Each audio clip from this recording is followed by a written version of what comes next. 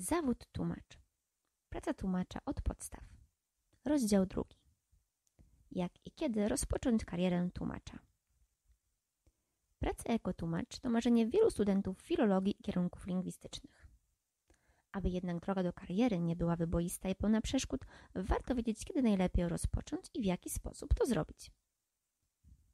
O czym powinien pamiętać aspirujący tłumacz?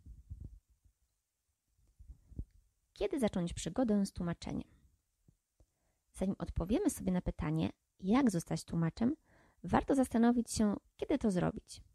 Nie chodzi tu o kwestię wieku, bo jeśli ma się do czegoś predyspozycję, to można zmieniać swoją ścieżkę zawodową nawet po dekadach w jednym zawodzie.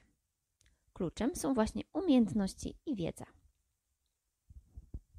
Nie warto rzucać się na głęboką wodę, a raczej lepiej wylać na siebie jej kubeł. Wiedza teoretyczna to jedno, ale praktyka w tłumaczeniu często zaskakuje nawet doświadczonych tłumaczy. Dlatego rozpoczęcie kariery, zwłaszcza jako freelancer, zaraz po studiach bez faktycznego przygotowania, to prosta droga do rozczarowania.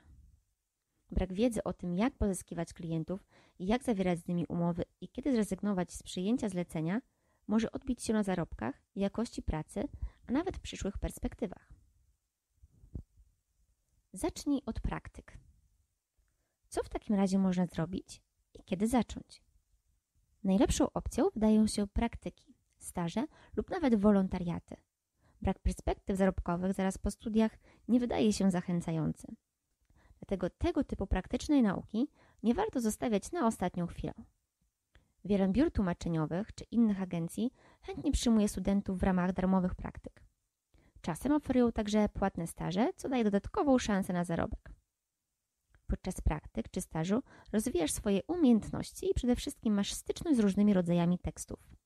Dlatego tak dobrym wyborem jest zwrócenie się do biura tłumaczeniowego, gdzie różnorodność zleceń nierzadko może zaskakiwać. Będąc jeszcze na studiach, można próbować swoich sił w działalności freelancera, ale raczej na zasadzie wolontariatu.